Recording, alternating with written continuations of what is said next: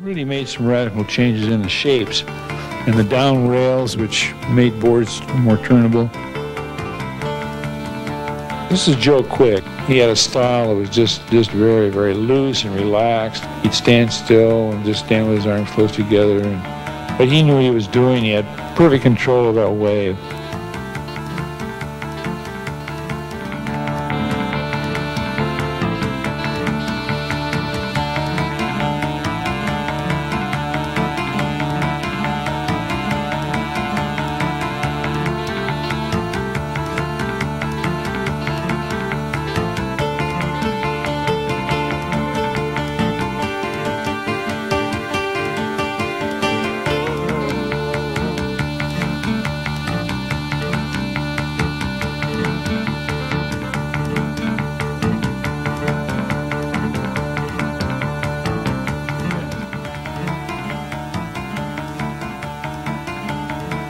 The beach girls of the 50s were very much interested in surfing, I think because of the surfers, the boys. And it was a good way to meet boys, and they got together that way, and a lot of romances bloomed on the beach, and uh, a lot of marriages, and it was just uh, kind of a social scene down there. But there were a number of women, uh, more so than you would think would be in, involved in a, a man's sport.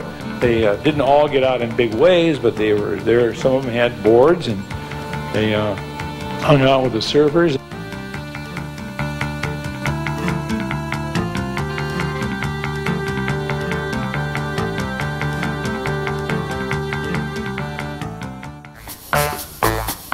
Tommy Zahn came in. You can see how Jack Quigg designed this board and spent hours and hours getting it just to, to perfection. This was the very competitive race of the year between George Downing and Tommy Zahn. There was great rivalry there, and Tom had been beaten quite a number of times by George. He made up his mind he was going to win this year, and he trained and trained and trained, and he did win. There's George Downing and Tommy Zahn shaking hands after the race. There's his trophy for that race. Tom was an extremely good waterman. He was just good in everything he did.